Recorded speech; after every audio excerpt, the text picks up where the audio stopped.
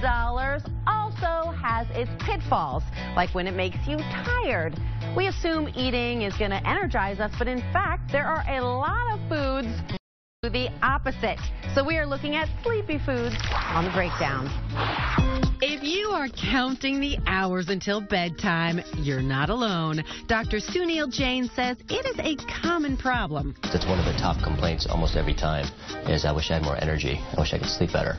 Um, and their day-to-day diet has a lot to do with that. But Dr. Jain has a list of foods that may be causing disease. First up, we think of them as the way to help salad. Unfortunately, the way uh, most of us consume that salad is probably not the ideal way. Iceberg lettuce covered in croutons will not give you sustained energy.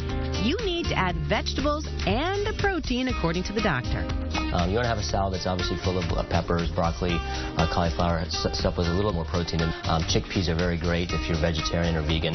Um, obviously, you can put in um, some meat in there. The other coma culprit on salads sugary dressing. You got to avoid a lot of those conventional dressings because they're just loaded with sugar and then makes uh, your body basically crash uh, shortly after that. Next, your dairy habit could be running you down. Quite a bit of population have intolerance too. You know, it's it's more than just the lactose. People think, oh, I get lactose free and I'm fine. When you pasteurize milk, unfortunately, you destroy a lot of the enzymes that can break that stuff down. So we see a lot of sensitivity reactions to it. When one of them is is fatigue. But non-dairy milks are great alternatives. Just pay attention to the ingredients ingredients. And a lot of them have some additives in there that may not be the best for us, so it's very easy to make a lot of these milks.